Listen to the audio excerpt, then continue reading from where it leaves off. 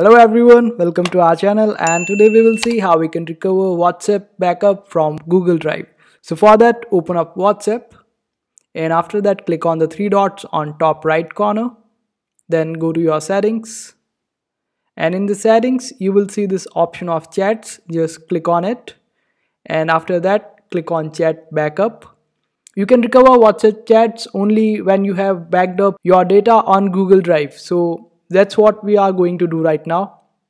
So here you will see this option of backup to Google Drive. Just click on it and select on what basis you want your chats and WhatsApp data to be backed up on Google Drive. It can be on daily basis, monthly basis. So after selecting it, click on backup and it will be saved on your Google Drive after that, you can restore this backed up data on any other phone or even after restarting or deleting your WhatsApp, you will be able to get your WhatsApp chats. All you have to do is just when you start your fresh WhatsApp, you will see this option of restore. Just click on it and select the email ID that you have used for backup and you will be good to go. And that's how you do it.